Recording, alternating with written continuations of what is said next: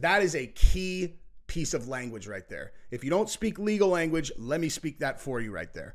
McMahon said, throughout this experience, I have always denied any intentional wrongdoing and continue to do so. What, what that means is that what she's alleging in the lawsuit is true, factually.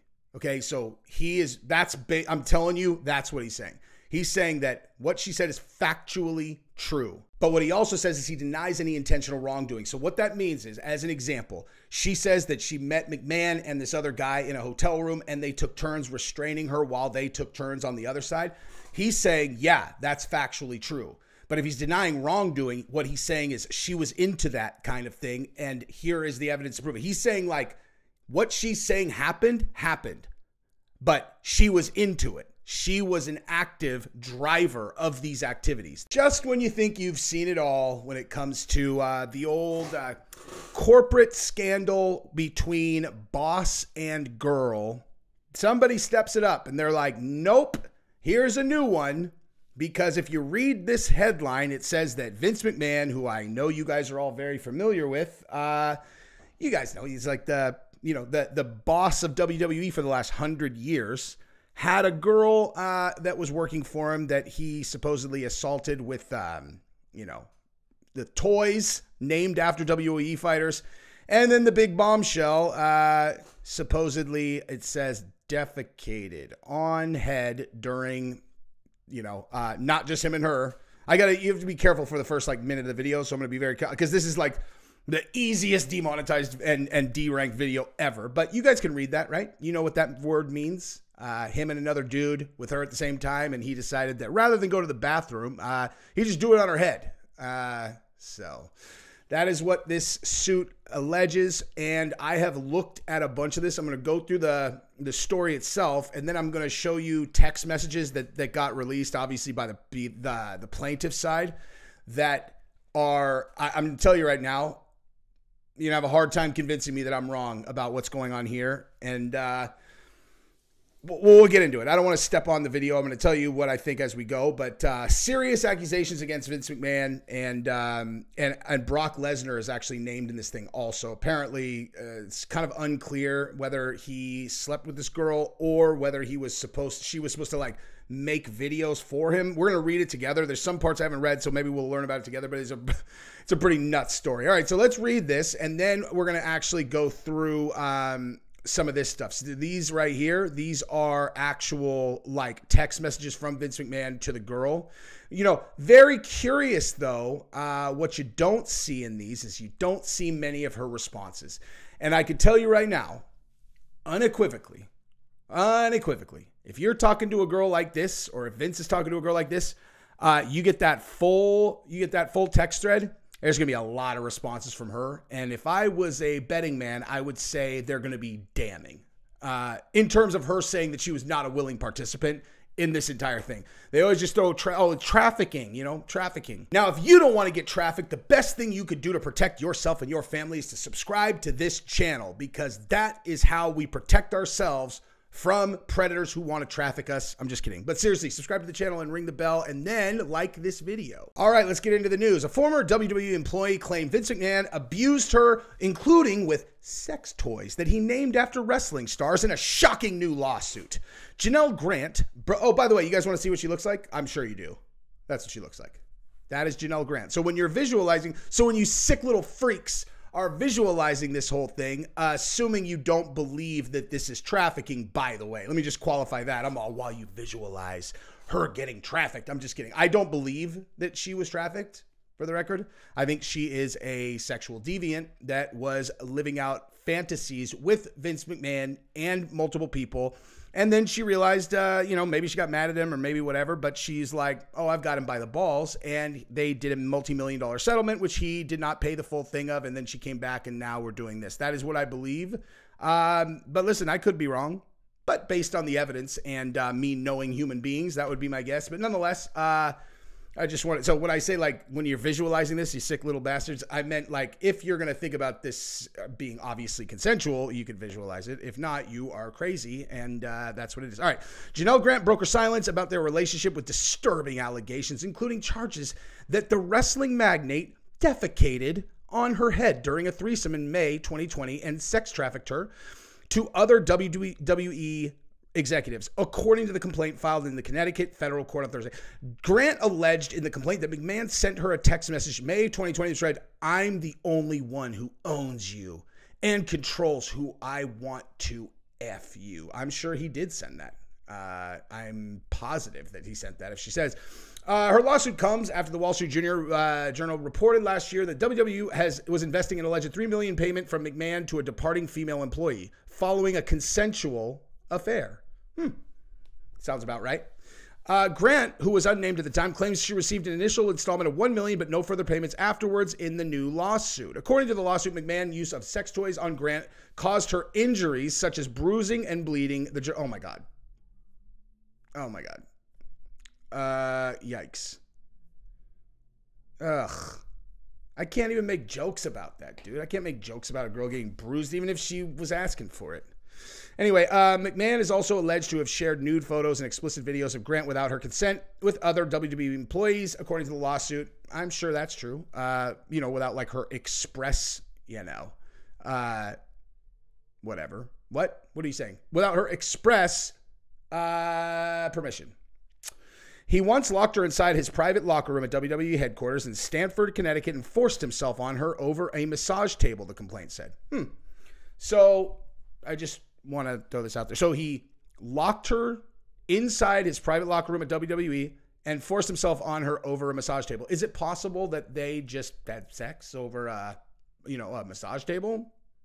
That seems kind of likely. I'm just saying. Uh, WWE boss is also alleged to have directed Grant to have sex with other executives and a wrestling star, the lawsuit claims. Now, does this sound familiar, you guys? Sound a little bit familiar to P. Diddy? What have we learned, you guys? What have we learned, you guys? If some girl seems like she's totally down to get passed around, maybe not a good idea, dude. Really. Like, really, maybe not a good idea because they can just turn around and be like, nope, I didn't want to do this. You made me do it. And uh, then you end up in this situation. Uh, John Laurinaitis, WWE's former head of talent relations, who is named as a defendant in the lawsuit, was also allegedly recruited by McMahon to have sex with Grant. Okay, so if you guys, uh, uh, what's the right way to put this? If you think that it is rare for a powerful man to have a girl who is a deviant and wants to get passed around and he passes her around and that turns him on. If you think that's like a super rare thing, you are tripping, dude. It's not a rare thing, not a rare thing at all. Now, in the case of Diddy, he's a predator. He was drugging people, you know. I don't know enough about this actually. I feel like I'm get, not giving her the benefit of the doubt, but that's because I've read the text messages and they seem relatively clear what was going on here. Okay, Grant was told by McMahon to visit Laurinaitis in his hotel room where she had sex with him before work days. had sex with him before work days. It's alleged in the lawsuit. Just before every workday. This is this is she was an unwilling participant. She would go to his hotel room and this is she's unwilling participant. That sounds kind of weird. In one encounter at WWE offices in June 2021, McMahon and Laurinaitis forced, themselves forced themselves on her and took turns restraining her for the other. It was alleged in the lawsuit. Really. Forced themselves on and restrain. Or she's into this kind of thing, and so they would hold her hands while the other one went after it because she's into that kind of thing. Okay. Also, if you think that that is a rare fantasy of girls, you are tripping, dude. You are tripping. If you think girls rarely like the idea of being restrained while, you know, you're out of your goddamn mind. That one I can tell you unequivocally. Now, generally, it's me doing, well, not generally. In my case, it's always been me doing the restraining while also being the active participant. But I can't think of many girls that don't. Well, there's a couple girls that aren't super into that, but most of them are, you know, like most of the girls I had experience with. Certainly my wife.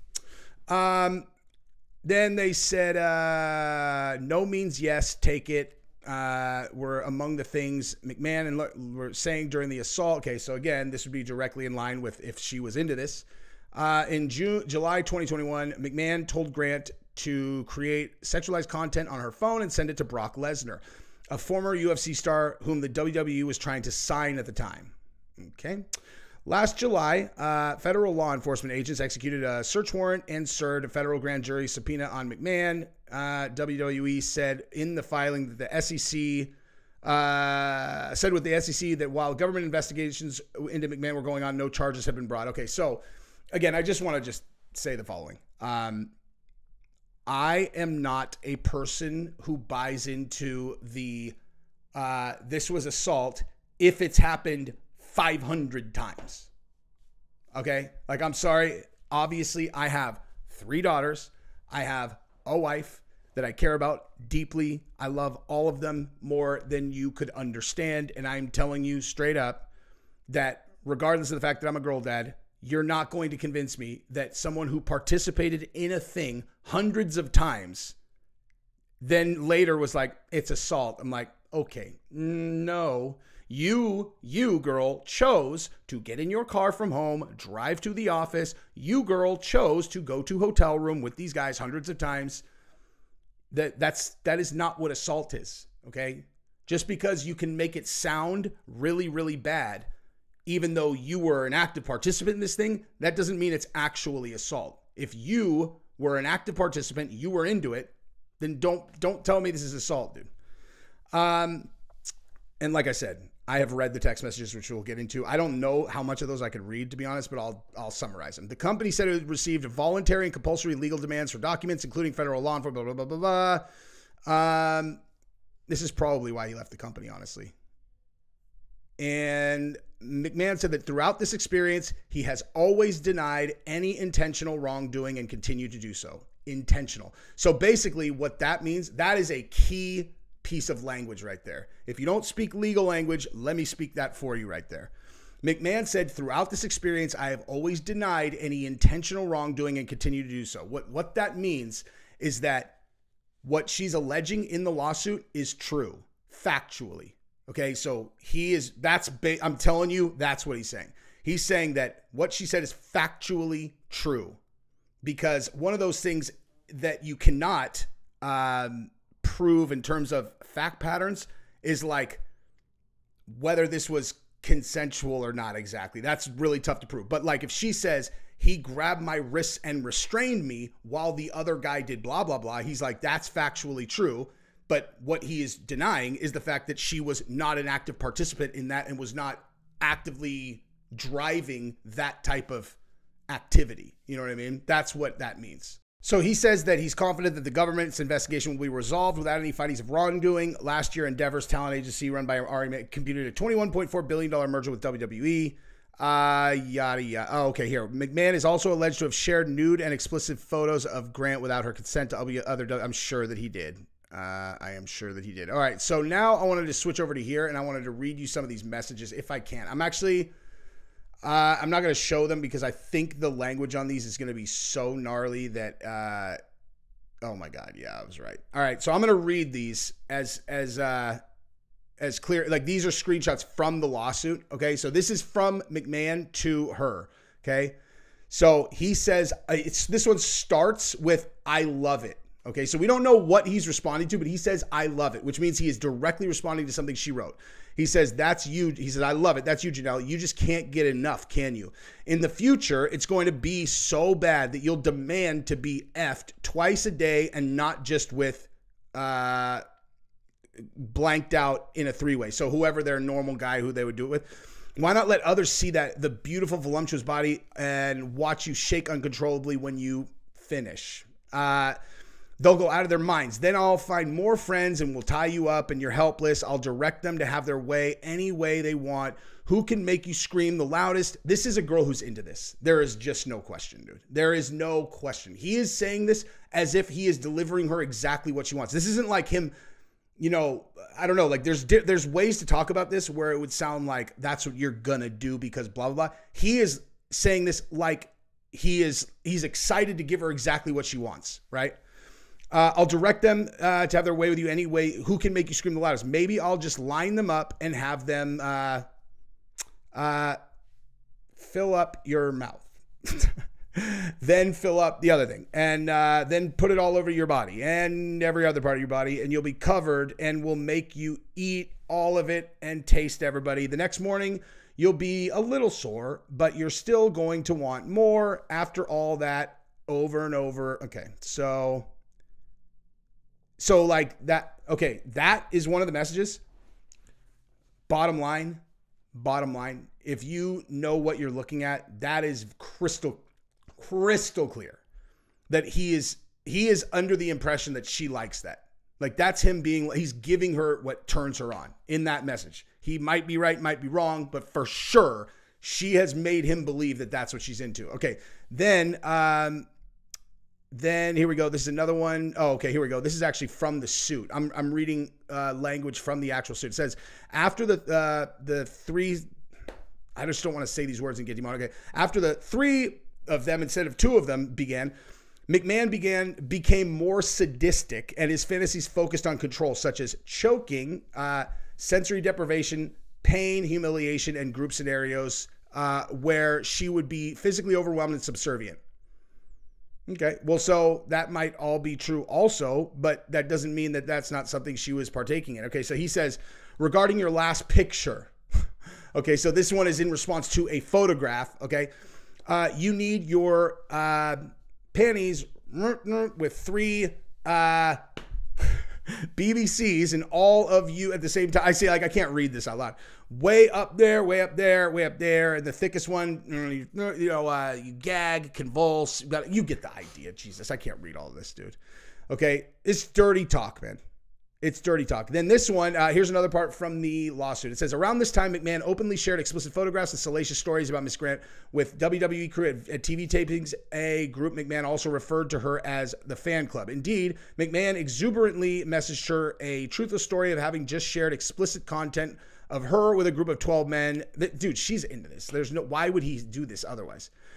This is the message he sent. I just passed my phone around to a bunch of guys on the tech crew. They were screaming, Oh my God, she's beautiful. Look at that. I'd like to get that. I paused, count out loud how many guys were there 12. This is her. She's into this. Okay. I then said, Okay, there's 12 of you, and she would love to at all of you at one t- at once, but she will only do it if she takes three at a time. oh my God, dude. She wants one in there, one in here. Oh my God, this is insane. This is all just, this is dirty talk, dude. This girl, this is a girl who fantasized about getting gang gang, you know, getting gang ganged. That is all this is. And apparently, uh, Okay, so this one, uh, here's another part from the lawsuit. It says uh, McMahon sent Miss Grant to establish a schedule for when other men, including um, physical therapist and Laurinaitis, could could get with her, which Miss Grant attempted to rebuff. Uh, so McMahon says, baby, he's not the only one. Uh, this one called me this afternoon begging, and he wants to he wants to f you with a nice hard D. She says, "Give me another week, baby. I'll be ready. I'm feeling more like myself. It's not great, but it's getting better. Tell the him soon." Okay, so this is again, this is their like big reveal of like, oh my god, see, she rebuffed this one. It's like all she said is, "I don't feel like myself," which means when she does feel like herself, this would be normal. You know, I probably shouldn't talk anymore about this, but bottom line, uh, this was a girl who very clearly was, uh, you know, she was into this, dude. I I would be I would be absolutely flabbergasted if I'm wrong about that. Flabbergasted. You think he doesn't know? You think Vince McMahon doesn't know that if he pushes on a girl too hard, that this kind of thing could blow up in your face? She had clearly made it very clear to him that she was into this. And then for whatever reason, she changed her mind. He was supposed to pay her $3 million. He paid one. And now this is all coming out. Uh, I'm just going to leave it at that. So I love you guys. Subscribe to the channel, ring the bell. That's what I got. Bye bye.